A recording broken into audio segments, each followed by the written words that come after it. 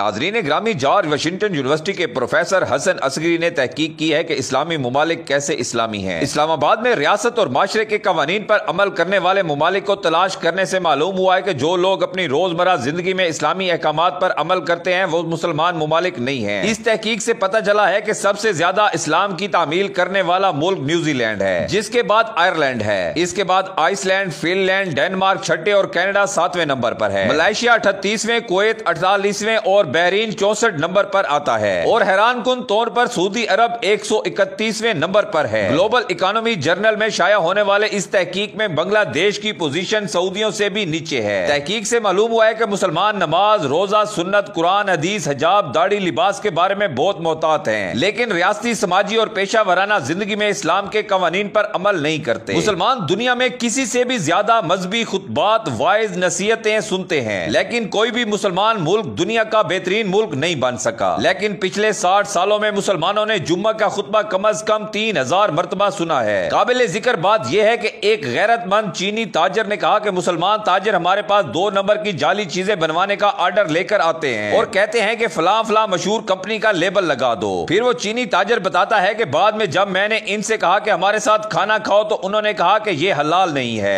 اس لیے میں نہیں کھاؤں گا تو کیا نکلی اشیاء بیچنا حلال ہے ایک جاپانی نو مسلم نے کہا کہ میں مغرب مغربی ممالک میں غیر مسلموں کو اسلام کے اصولوں پر چلتے ہوئے دیکھتا ہوں مشرقی ممالک میں اسلام کو دیکھتا ہوں لیکن مسلمان نہیں ہے اسلام صرف نماز اور روزہ نہیں بلکہ یہ زندگی گزارنے کا ایک طریقہ ہے اور دوسروں کے ساتھ رابطے اور رفاقت کا معاملہ ہے جو شخص روزہ دار نماز پڑھتا ہے اور اس کی پیشانی پر نشان ہے وہ اللہ کے نزدیک منافق بھی ہو سکتا ہے رسول اللہ صلی اللہ علیہ وآلہ وسلم نے فرمایا کہ حقیقی طور پر خالیات وہ لوگ ہیں جو روزے نماز کثرت حاج صدقات کے ساتھ حاضر ہوں گے لیکن بدعنوانی مال ہتھیانے کی وجہ سے خالی ہاتھ جہنم میں جائیں گے دوسروں کو حقوق نہ دینا اور لوگوں پر ظلم کرنا اسلام کے دو حصے ہیں ایک ایمان کہلانے والے عقیدے کا عوامی اعلان اور دوسرا احسان نامی ایمان کا موضوع ہے جو کہ صحیح معاشرتی اصولوں پر عمل کرنے سے حاصل ہوتا ہے اگر دونوں پر عمل نہ کیا جائے تو اسلام ادھورا رہ جاتا ہے جو ہر نام نہاد مسلم ملک میں ہو رہا ہے مذہبی ممنوعات کی پابندی انسان کی ذاتی ذمہ داری ہے اور یہ اللہ اور بندے کے درمیان معاملہ ہے لیکن معاشرتی اصولوں کی پابندی ایک بندے اور دوسرے کے درمیان معاملہ ہے دوسرے لفظوں میں اگر مسلمان اپنی اپنی زندگیوں میں اسلامی اصولوں پر عمل نہیں کریں گے تو مسلم بادشاہ بگڑ جائے گا اور ہمارا مستقبل بے عزت ہو جائے گا لارڈ برنارڈ شاہ نے ایک بار کہا تھا کہ اسلام بہترین مذہب ہے اور مسلمان بدترین پیروکار ہیں اللہ تعالیٰ ہمیں اسلام پر عمل پیرا ہونے کی توفیق بھی کیسے عطا فرمائے جب ہم نے کبھی کوشش ہی نہیں کی آخر میں ہماری اللہ تعالیٰ سے دعا ہے کہ اللہ تعالیٰ ہر مسلمان کو اسلام پر چلنے کی توفیق عطا فرمائے آمین